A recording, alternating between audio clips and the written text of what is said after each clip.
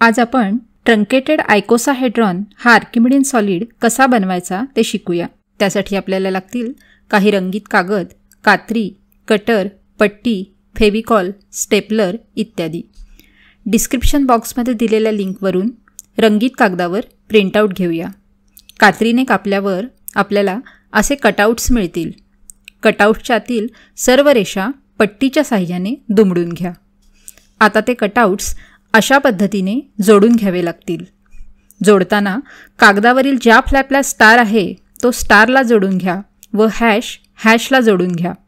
अशा प्रकारे सर्व फ्लॅप्स बाजूच्या फ्लॅपला जोडल्यावर आपल्याला ट्रंकेटेड आयकोसाहेड्रॉन तयार झालेला दिसेल. तयार झालेल्या सॉलिडमध्ये बल्ब बसवून त्याचा आकाशकंदील बनवा.